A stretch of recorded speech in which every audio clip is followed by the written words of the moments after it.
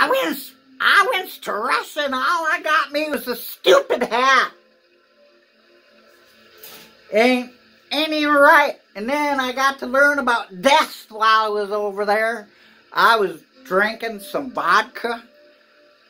They got some deadly vodka. And the Russian Viper, Vlad, the Impaler. he really is. That guy, he cut the world a new one, and he making Russia the sphincter. Did you know? That means that they's the new voted assholes of the world if they're going to keep following that guy. Because Donald Trump say the world needs a good weapon against that kind of guy. Psychological attack. So this is what this is. Because I is the new Tokyo Rose. Don't you know? I got so tired of talking about putrid Putin. I spit out my teeth. And it make me mad because you know why? Because nobody listening to that guy. He the roaring lion of Zion. And you know, it's all about Mickey and Minnie. They say it's true that this world has been a festering fear, tears and fear too long. Perfect love can cast out all fear. And that is what the name of Jesus is. His is the perfect name of love. Every knee going to bow down to that name. Every tongue going to confess that name. Because those who love is born of God and know God because God is love. But that ain't putrid Putin, no. Because that guy, he cut the world a new one. And it is foretold that the great ferocious uh, Kodiak is going to come out there uh, with in between his teeth, because he got big sharp fangs. He's got uh, three ribs stuck in between his teeth, and he's chomping down on those bones. Daniel 5, uh, verse 7, and it say that uh, those bones is Crimea and the other two territories that he just stole. That's what those bones is. And then the bear hears, hears the voice, and the voice say, Okay, dinner time. Go and eat all the flesh you like. Have your fill now, Mr. Big uh, uh, Grizzly Kodiak with the foaming mouth with the rabies. So that's what's going to happen. And it is the Putin story for sure. I know that because it say in Daniel 11, verse 6, that this would happen in the latter days, you know. Latter days. That is this. That is this. And in those latter days, from Persia would it come. And that's what Ukraine and Russia was, the bedroom community of Persia, you know. And the fifth, uh, the fifth uh, czar would do it, according to prophecy, according to Rasputin. And Rasputin, Rasputin, Rasputin, he got prophecy to say Russia's going to be just a graveyard. And that the, the cat uh, of, of abomination going to chase the rats until they believe the word of God that so much death's going to happen that there are going to be seven, uh, seven women for one guy. And Rasputin kind of liked that idea. He was a horny guy, I hear. And, but he was kind of like Muhammad, you know, just, but that was then. This is now. And it don't matter anyway because the Bible say there is no good man. No, not even one. Everybody forget that. Everybody just full of shit. Everybody don't even want nothing about know about no prophecy now. But the Bible say that unless uh, these days cut short, uh, no flesh to survive. No way to cut the Bible uh, time short except by prophecy. Because if you believe the prophecy, why go there? Because at the end of the day, if if uh, Putin see his prophecy, if he believe it, then it shows him being cast into hell in the book of Revelation as the beast who has been revealed as the bringer of the bear that is hungry and wants to eat the world. Hey, he, didn't you hear? He already threatening, who was it today? Oh, Denmark today, Finland, and Sweden yesterday.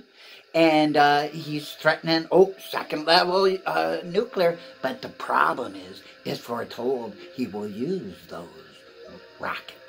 And it's saying, Zechariah, that their eyes are going to consume away in their socket and their tongue blah, going to consume away in the mouth and the flesh going to consume away uh, before their body even have a chance to hit the, the ashes on the ground And that is nuclear war told from 3,000 years ago before any atomic fusion was ever even known. Pretty good.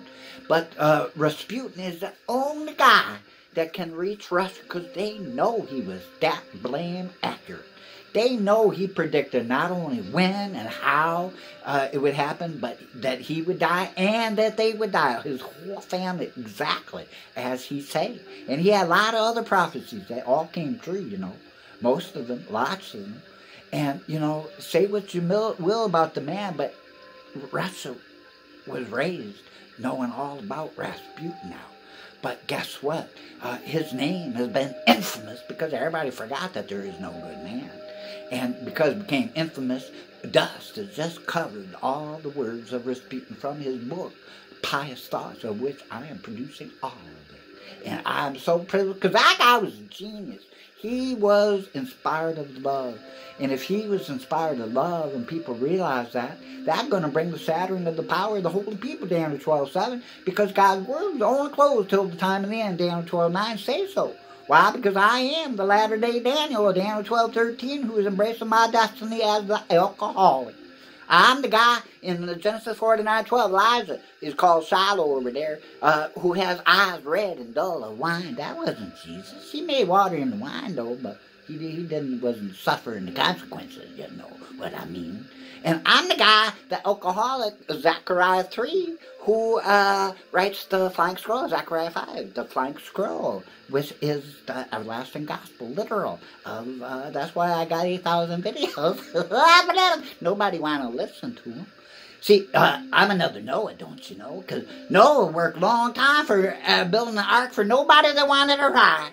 And I spent a long time writing the only way out of this big World War III mess, but nobody want to hear it.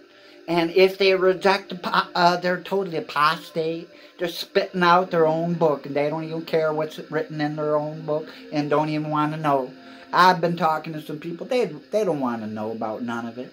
They don't care. They don't know. They don't wear no underwear. Their underwear, their uh, elevator not going to the top anyway. So it's time that we get with the program and change. Because the Lord say that we must be our sword into the sickle. If we're not willing to change, we gotta we're gonna have uh, uh, bigger, deeper boots. Our boots aren't deep enough for the kind of shit God has. Because he say, if you won't listen to my messenger, he say, I'm going to take the shit from your dung, from your rotten feast, and I'm going to rub it in your face in Malachi 2 3. Because that's the only thing that will get people's attention so that they will hear the preparation of his peace so that we can all stand still and see the salvation of love. They don't want to hear that garbage. They say, kill, kill, kill. Can you say row, row, row your boat backwards? Can you? You ever feel like going around the maypole again, even though you've been around a hundred times and you know it's going to be the same as you? Is some things just stupid to do? You got a brain or you got an ass or you're sitting on the, which one? I don't know. But unless you, these are videos, unless these spiritual weapons go out towards Russia, and I hope I have imitators taking all of my material now, take it all and spit it back out at Russia Spit out your dentures too at them. Let's all make the googly eye effect at them. Let's all give them the opportunity to be special now. They can stand on the shoulders of whoever they want. And they can look through Galileo's telescope.